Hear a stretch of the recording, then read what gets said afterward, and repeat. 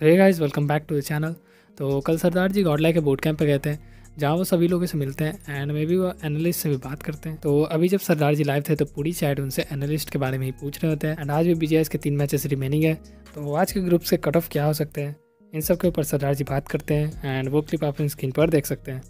देखते हैं देखते हैं। एनालिस्ट अरे मैं नहीं हूँ, मैं कुछ नहीं हूँ भाई, ये तो तुम्हें क्लियर कट पता है और मैं बता भी दे रहा हूँ, मैं नहीं हूँ। ना मुझे अभी बनना है कहीं पे किसी का। ना मैं फ्यूचर में शायद बनूँगा लेट्स सी फ्यूचर का तो नहीं पता मतलब बहुत कम ही चांसेस कि मैं as a analyst as a coach कहीं भी ज्वाइन करूँ। कितना ज़्यादा कॉल से भाई, कसम से भाई। वो सबको लग रहा है भाई एनालिस्ट है क्या?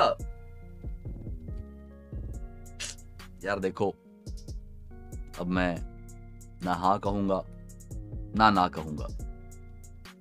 ठीक है, मगर आप होशियार हैं। भाई देखो, और खुद रिवील करेगी that's a better thing I am no one to say these things अच्छी बात नहीं है।